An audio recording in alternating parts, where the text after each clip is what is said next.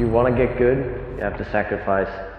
Right in his face, doesn't hit the nose go, doesn't hit the pistol. Oh, oh, what? Jumping double for Cole. People are starting to remember CSGO as I remember 1.6. Boy, you serious? This is not FPL. This is a major. CSGO felt like the last hope for Counter-Strike in many ways. Oh, this is huge. Doji's throwing a nade into the corner just as the bomb's gonna go off.